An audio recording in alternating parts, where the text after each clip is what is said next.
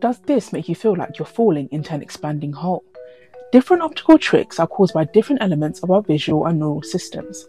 For example, this is created by communication delay between the regions of the brain that process vision, and this is created by constant tiny involuntary jerks of the eyes caused by the brain happening much earlier in the vision process.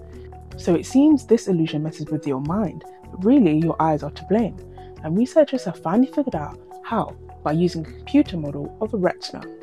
Specifically looking at ganglion cells, these signal to the brain that certain regions are dark or light and help adapt what we are seeing by lowering the brightness of very bright regions or increasing it for very dark ones. It also signals to neighbouring cells, and the model suggests that it's this effect that creates the expanding hole illusion, as certain ganglions perceive the dark centre of the image and they trigger nearby cells to report a darkness even when they perceive an area just outside it, giving the illusion that the dark centre is actually larger than it is and smaller ganglion cells lie towards the center of the retina, and therefore the center of the illusion, resulting in numerous confusing messages being sent to the brain, tricking us into perceiving change in motion where there actually is none. Previously, the explanation of this illusion involved the brain recognizing the black center as a physical hole, triggering mechanisms that help us understand scenes in 3D but are disorienting in 2D.